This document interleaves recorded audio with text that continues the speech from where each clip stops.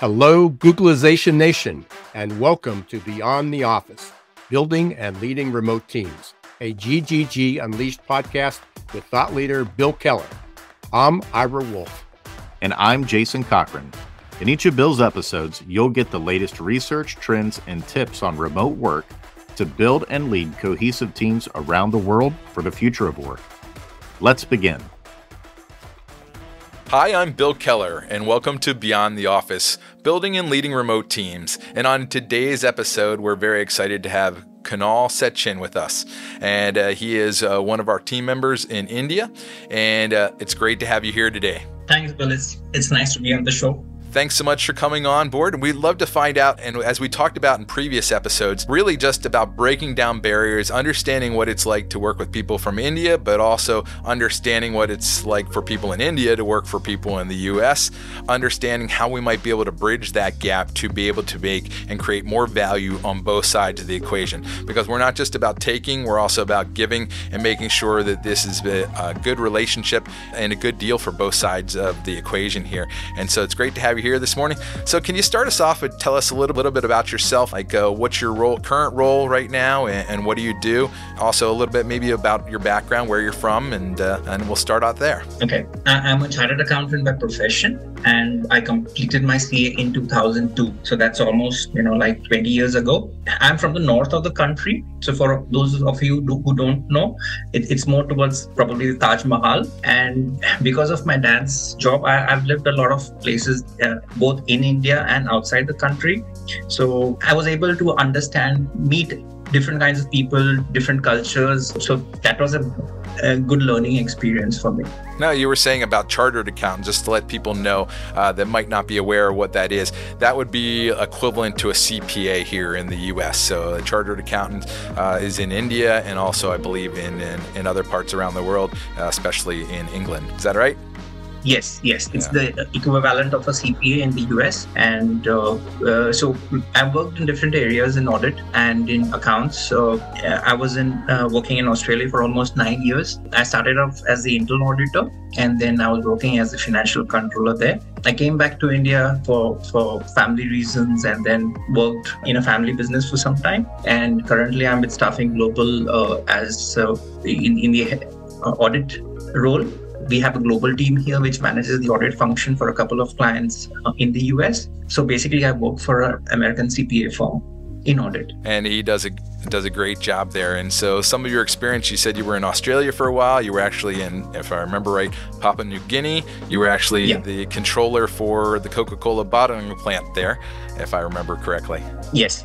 Uh, it was an Australian company and owned by an Australian. And uh, we, we had about almost, I think, six or seven different nationalities from different nationalities, people working there.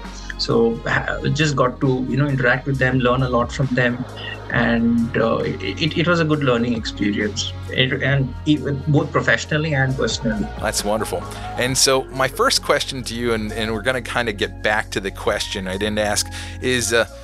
how does the education and professional training in India influence your approach and work? But before we get to that, I, I want to just take one step back. This is a while ago because you're you're kind of like me.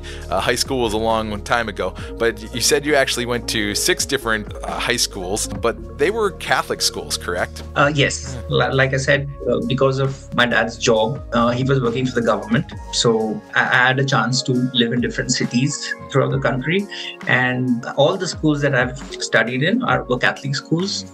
Uh, some of them are missionary, and you know the others were government funded. But the Catholic schools, uh, both in the north of the country and the south of the country.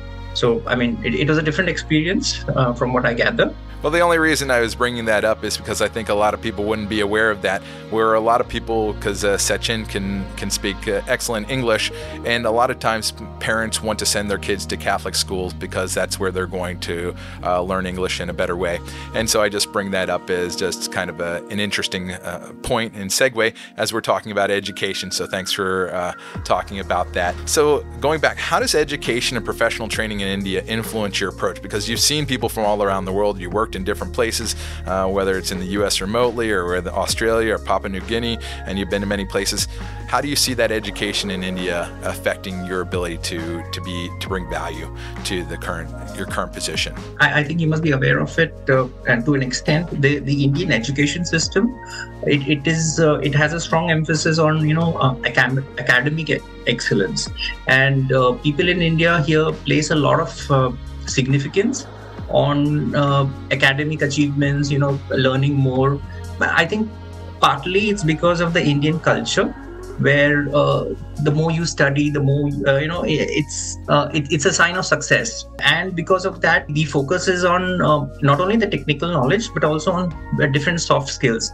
This results in uh, a very attitude, which a very hardworking and competitive attitude in India. So ultimately goes down to uh, where you work and in your approach to work it, it, plays a significant role. And we've seen that you know we've seen we talked about in other episodes about the hardworking culture but there is also huge emphasis especially in families you know keep on pushing in school you know learning more doing better. And so that really shows up as far as their ability to really understand the subjects. And so appreciate that. So we're going to move on to another area that I've seen uh, really affect things as far as maybe a slight difference in the way uh, culture is perceived between India and in the US. So, can you tell us a little bit about hierarchy and respect for authority? Uh, how does that manifest itself in an Indian work environment, and how does that differ from an American work environment, uh, in your opinion? in, in, most of the Indian companies, you see that there's there's a well-defined structure, a hierarchy, and most of it is uh, you know like a pyramid. So uh, employees are expect, expected to follow a chain of command and you know for each decision you have to follow a chain. You have to report to your superiors. Each decision is is from the top down approach. So apart from the hierarchy there's a strong emphasis on you know respect on, on the kind of language you use on on, on titles formal titles like sir madam uh, when, when you address your uh, superiors. So basically seniority is highly valued in the indian workspace and this is where uh, it differs from the you know the american context where you have a flatter hierarchy you have a flatter structure and there's more directness and openness in the American corporate world, I would say. So both have their advantages and disadvantages, but then ultimately the American system I would say more open and direct. And that's what we find as well. You know, like you said, so there, there's advantages and disadvantages to to both, but there is a difference in understanding that and how you kind of like interact and what your expectations are and making sure you're setting that expectations. Because he says uh, we typically have a flatter organizational structure structure, and uh, that opens up some more opportunities, like we were talking about in, in other episodes, perhaps to do more things and maybe make some more decisions on your own. Is that fair? Yes, yes, yeah. you're right. So, the reason I'm asking you some of these questions is because you've had such a, a broad experience in different cultures.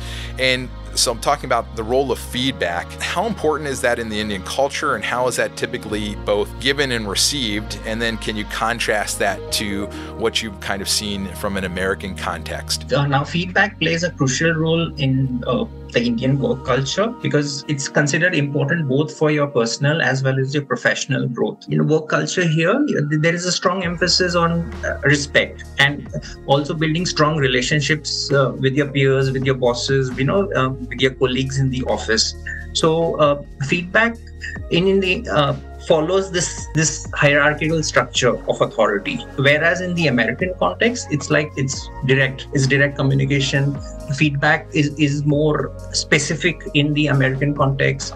It's more tied to measurable results rather than you know relationships which you find in the indian context. One of the things which i think is one of the major differences which i feel is in the american context feedback can be multi-directional. You know it can be from you can you can give feedback to your bosses you can give feedback about your colleagues. But in the indian context it's more you know top to bottom. So i think uh, this is where the american feedback system it kind of tries to balance criticism as well and uh, you know positive reinforcement. So it, it's uh, i think it's it's better that way. And i appreciate that you know as far as we're trying to in this whole concept is understand not are we right, are you wrong, you know, are you right, are we wrong, but what's best and how do we move that forward? And so we're trying to really understand that. So understanding how that we, we talked about, you know, a lot of that feedback is going is one directional in more of the Indian culture. And that's obviously a broad generalization, but that's what I was hearing you say.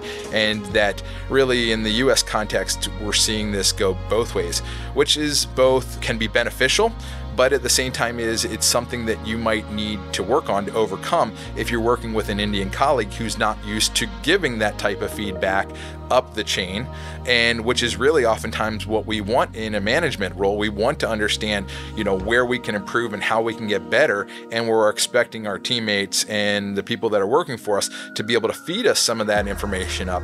And so that can be difficult and something that sometimes we have to work to overcome to make sure that they understand that it, it is okay. And oftentimes just telling somebody that one time is probably not going to be enough. Would you agree? Because it's so ingrained that most people people wouldn't feel comfortable if I say, "Hey, you can tell me what's going on," and then he'd be like, "Okay, I, I, I, don't, I don't always know what that what that's like because that's not part of of the culture there." Is that fair? Yes, yes. Uh, it's a bit different, but then uh, I, I, guess things are changing in some industries, like you mentioned. And there's been so much influence on both sides, you know, whether it's uh, Indians coming to the U.S. or, or us going into India. You know, we're seeing that, you know, and, and we're talking about broad generalizations that hopefully will get us uh, closer to the truth here. So you kind of mentioned it in your previous uh, answer.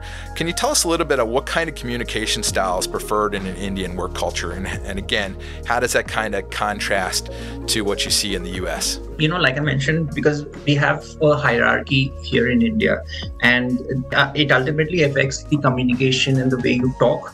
So uh, you will find a lot of you know politeness, a lot of respect in official communication.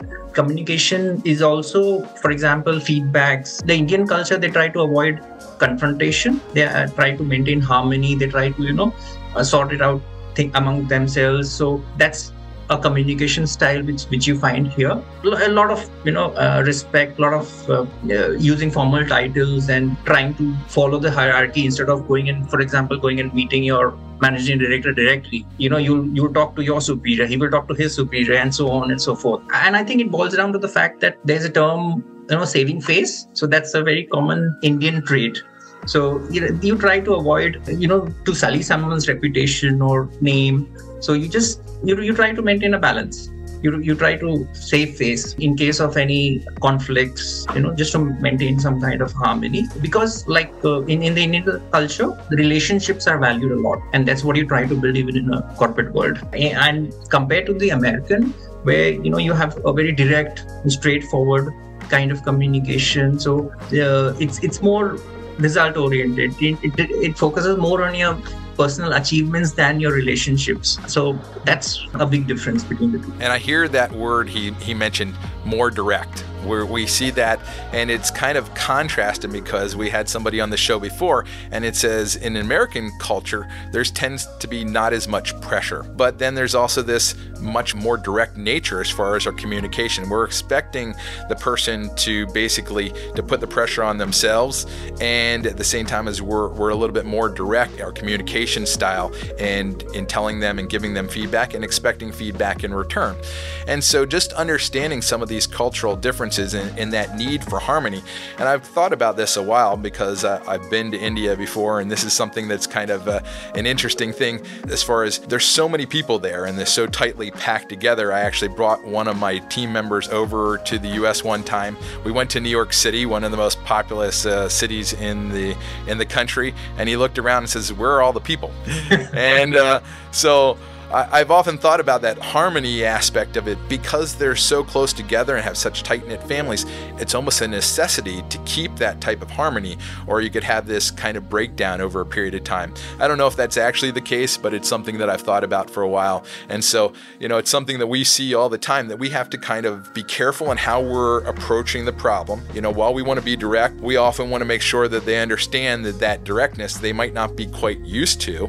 And so that because if somebody was that direct in India, there would be a major problem. And that doesn't necessarily mean the same thing as far as in an American context. So just understanding how people approach the communication is really critical to making sure that you're communicating well. Would you agree? Yes, yes. So, as we kind of uh, wrap this up, what are one or two pieces of advice you would give an American executive who might have some concerns or fears about bringing some someone on overseas to work in their company. Do you have some some thoughts for them? In my experience, I, I think uh, there's a lot of advantages to this. Number one is, of course, uh, uh, getting a lot of diversity in the organization, in, in, in your people, because once you have diversity in the one in the workplace, it just broadens your horizons. It gives you more opportunities. It gives you, you know, uh, it's easier for the organization to handle challenges, differences, and I think uh, in in my experience, uh, when when I went to Papua New Guinea working for the Australian company, I found new people always brought in the best practices in anything. So in any process, in any department, when you have people from different places, we had Filipinos, we had New Zealanders, we had people from different countries working there. So everybody gets the best practices from their region, from their culture, and that really helps the organization grow. And of course, it, apart from the cost savings and you know the uh, the competitive edge, the diversity and the loads of experience which everybody gets, it, it's it's I mean it's, it's great. I appreciate that. You know, as far as diversity, bringing new ideas and, and new ways of working. And when you can do that and harness the power of an incredible nation like India, with uh, you know the most populous country on the earth, but have people with incredible work ethics and incredible minds. And if you're able to harness that and bring that into your company and both, you know, benefit from that and also at the same time is reciprocate in providing value to them on the other side with opportunities for them to grow, it is an incredible opportunity for both parties. And so we really appreciate uh, your time today. Thank you so much for coming uh, on our show, for sharing your knowledge and your wisdom with us. And, uh, you know, we look forward to maybe talking with you again sometime. Thank you so much, Bill. It is a pleasure talking to you. Well, until next time on Beyond the Office, go out and build great remote teams. So if you'd like to learn more about remote staffing, feel free to message us for our free guide, The Seven Deadly Sins of Remote Staffing, and how to make sure that you don't commit them and you're successful in your remote hiring journey.